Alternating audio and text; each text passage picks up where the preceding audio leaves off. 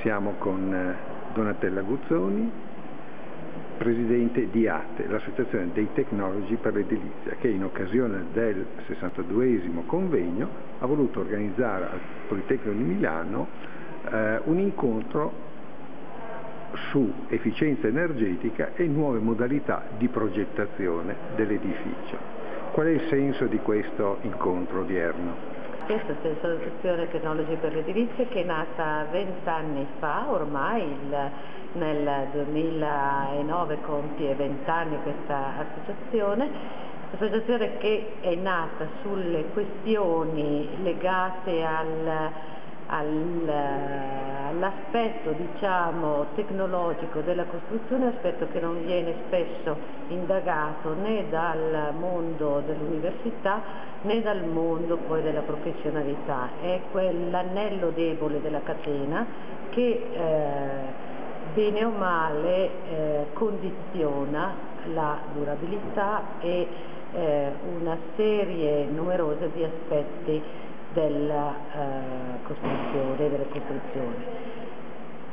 Convegno quindi, di oggi? E quindi il convegno di oggi sta all'interno di questo discorso, eh, l'involucro diventa sempre più importante per una serie di motivi legati a nuove tecnologie, nuove esperienze, nuove progettualità ma anche nuove esigenze normative.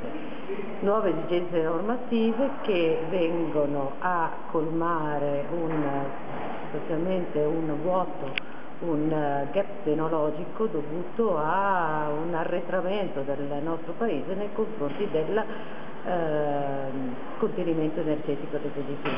È pur vero che eh, non è attraverso un eh, un disposto legislativo che si eh, cambiano le competenze e le eh, professionalità. Competenze e professionalità devono cambiare sostanzialmente attraverso una consapevolezza dei problemi e delle conseguenze che certe scelte possono avere non solo sul sull'edificio in quanto tale, ma sulla, eh, diciamo, sulla sostenibilità ambientale delle, degli interventi che noi facciamo.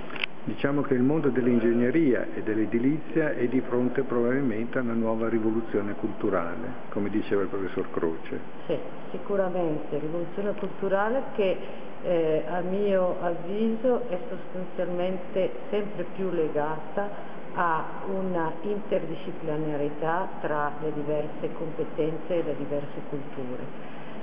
Eh, sempre di più si dovrà partire eh, insieme in un progetto eh, attraverso un percorso comune parallelo che metta in sinergia tutte le competenze, non si può pensare di parlare prima di architettura, poi di strutture, poi di impianti.